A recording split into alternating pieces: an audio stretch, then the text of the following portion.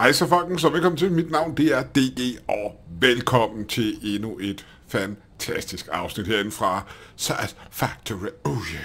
uh.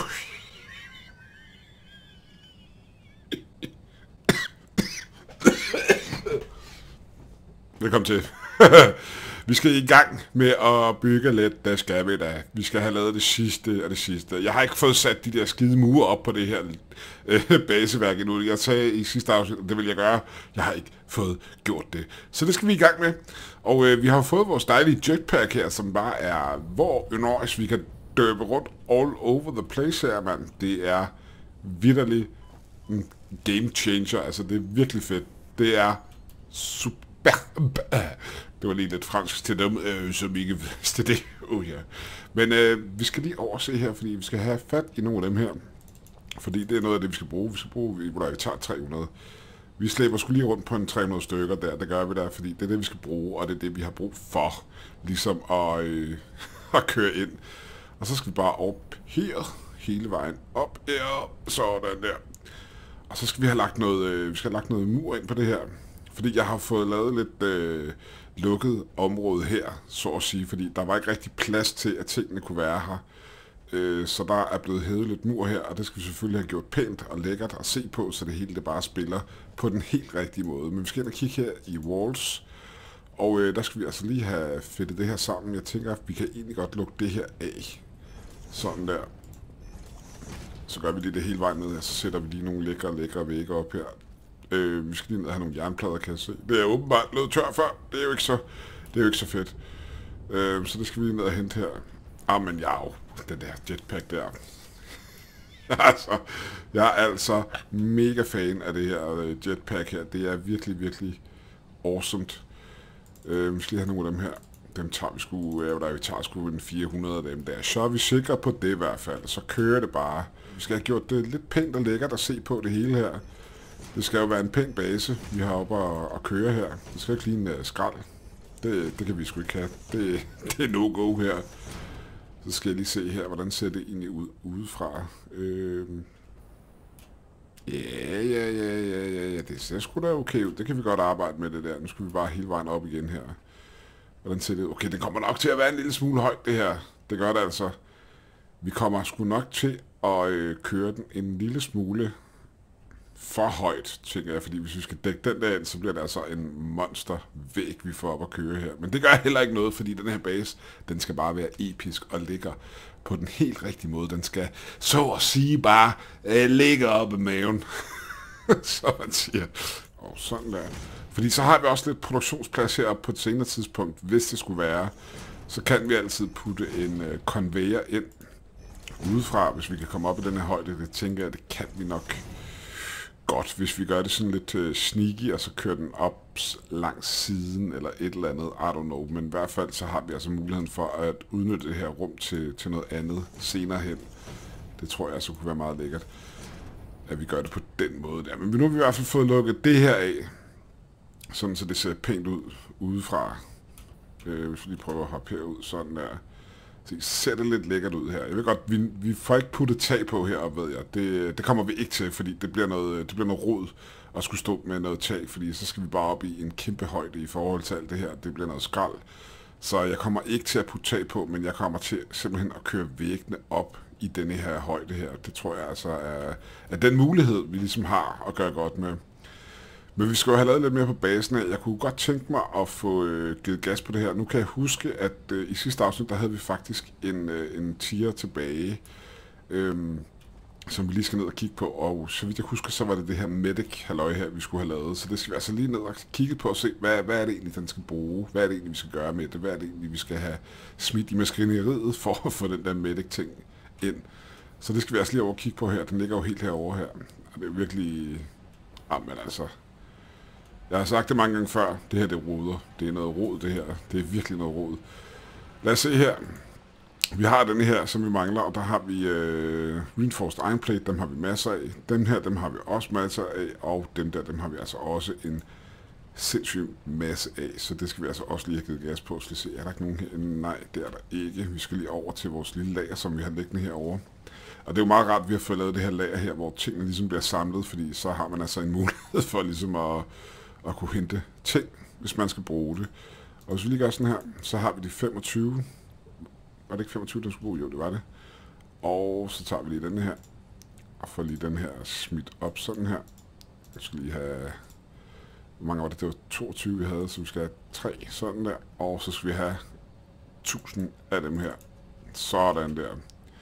Så skal vi bare lige tilbage med det her. Øh, og kan vi sende det afsted med det samme? Det tror jeg ikke. Jeg tror ikke, vores, øh, vores lille maskine der, vores lille flyver, er kommet tilbage endnu. Lad os se. Er den kommet til? Det ser jo, den er, sgu, den er sgu lige landet der. Det er sgu da meget rart. Det er sgu da meget heldigt. Så hvis vi lige har så den der, og den der, og så skal vi have steel plates, og hvad var det sidste? Det var de der mærkelige ting der. Hvor, hvor fanden er de henne? Øh, hvor fanden er de henne? Tror jeg ikke dem? Okay, er jeg bare blevet gammel, eller hvad sker der? Kan jeg slet ikke se dem, eller hvad? Yes, de var der. Sådan der. Jeg er blevet gammel. Sådan er det.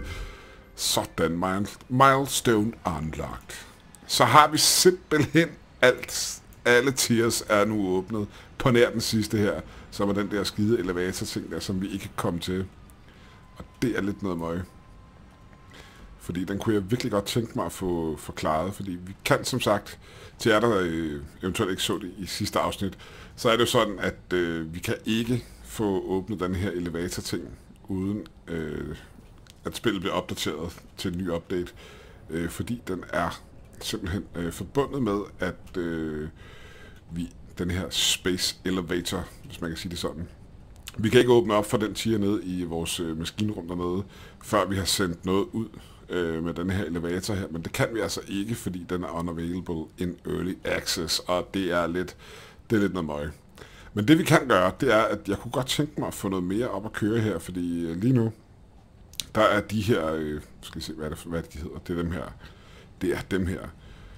Vores Industrial Steel Beam, de er altså virkelig øh, slow øh, lige pt. Det, der, det går sgu ikke så stærkt, det. Det gør det altså ikke. Det, gør ikke. det går ikke stærkt, og sådan er det.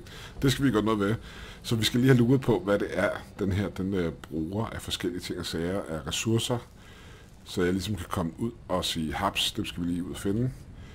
Og det er jo øh, det er iron ore, okay, og det er kul. Så det skal vi faktisk ud have fundet lidt af forhåbentlig. Så hvis vi lige laver den der, så sender vi lige en øh, bølge ud her. Uh, der var noget... Øh... Ja, det er dem der, jeg har. Det kan jeg ikke rigtig bruge. Dem har jeg jo ligesom... Der var noget den vej her. Okay, guys, vi øh, døber lige den her vej. Der er 700 meter ud, cirkus. Så der skal vi altså lige ud se. Jeg kan ikke huske, om vi har taget den. Det tror jeg faktisk, vi har. Fordi det, er den, det må være den der, der kører her, så vidt jeg husker.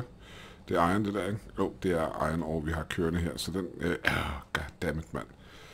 Den havde jeg lige håbet på, vi kunne, øh, vi kunne hapse. Hvad er det her for noget? Der er sgu et crash site. Hvad, hvad kan vi finde her? Uh, der er lige haps. Har vi noget spændende den her? Hvad kan vi, øh, hvad kan vi hente herfra? Af smukke, lækre, dejlige ting. Oh, proceed to open. Repairs need, uh, need battery broken. Uh, yes. Er det noget, vi kan putte i det? jeg ved ikke. Hvad er det, jeg skal putte i her? Er det... Uh, emergency door status, battery broken, need altså, uh, 30. Åh, oh, skal vi plukke noget strøm til den, eller hvad? Er der andet, vi kan åbne her? Det ser ikke sådan ud. Vi skal have puttet noget strøm på den der, åbenbart, tror jeg. Ikke helt sikker. Vi kan lige prøve her. Just for the fun of it. Prøv lige at placere sådan en der. Nej, det kan vi ikke. Hvad er det så for noget... Det er så også den forkerte, jeg står og piller ved, mand. Ah, men altså. Okay, den kan godt det der. Så skal vi bare lige have den der clearet ind på den der. Og den der. Så piller vi den ned bagefter. Vær nice. Ja, så skal du åbne, ikke? Åh, den der. Hvad har vi herinde? Hvad er det her for noget? Hard drive.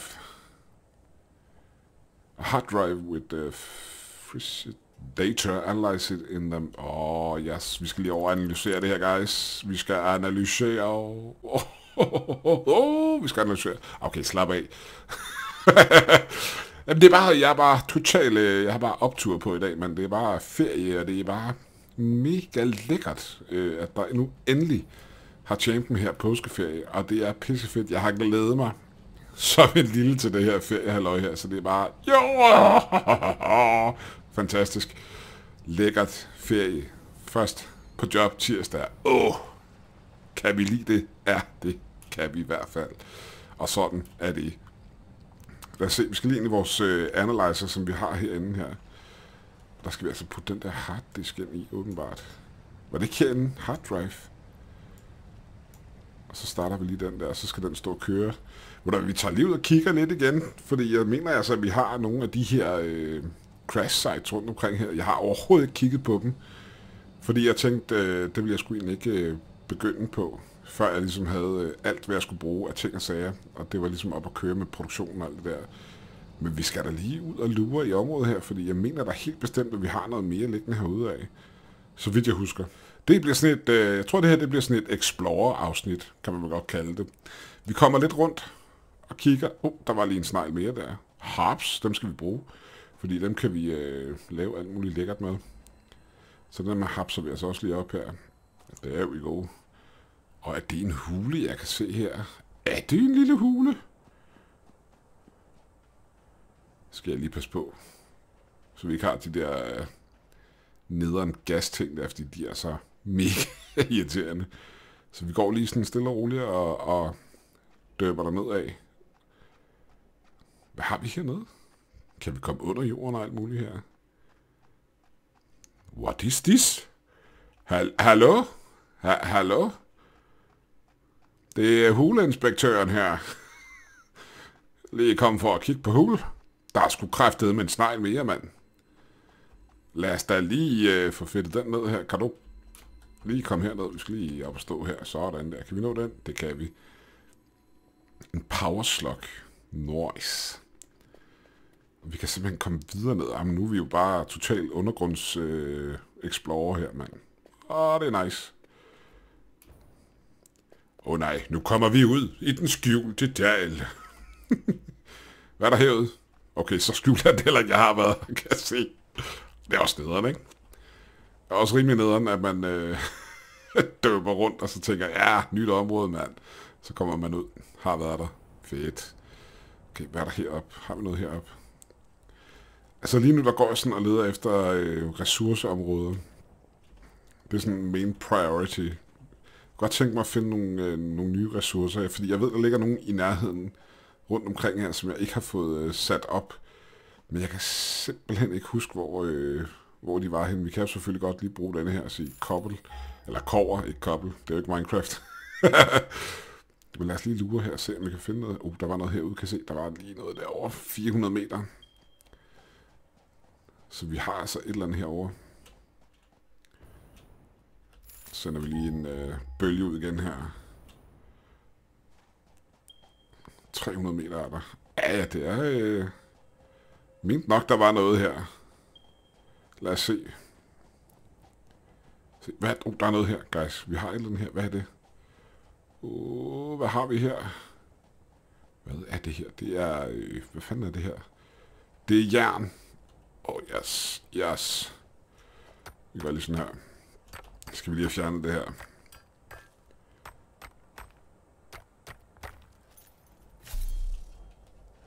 Åh, oh, vi løb tør, vi har ikke mere plads. Åh, oh, goddammit, mand. Øhm, hvad kan vi smide ud her, som vi ikke skal bruge lige pt? Power slugs vil jeg godt beholde. Den der vil jeg også godt beholde. Den der, den kan vi godt smide ud. Den har vi ikke rigtig brug for. Og hvor langt er vi fra vores space elevator? Ja, der. Kan jeg bygge sådan en nu? Kan jeg bygge en... Øh,